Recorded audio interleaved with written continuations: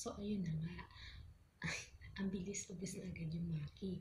So, ngayon naman, kakain ako ng pasta. So, kung iniisip mo, nabusog na ako, well, iniisip mo lang yun. Kasi, gusto ko pang kumain ng pasta. This is a tuna pasta, actually. Sarap siya. And this is very healthy. Charet!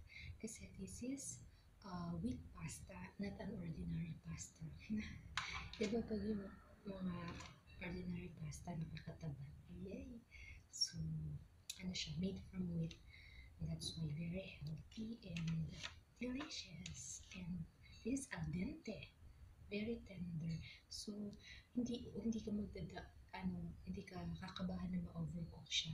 Kasi, ano siya talaga, al dente. Tama ba yun? Ano, firm. Firm siya. So, like this. That's it. This is a tuna pasta.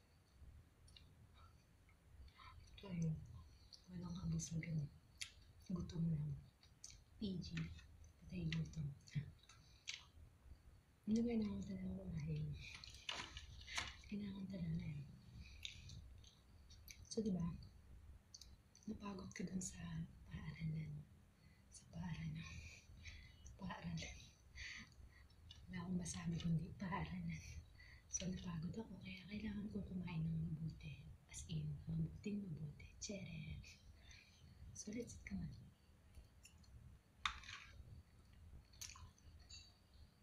Mm.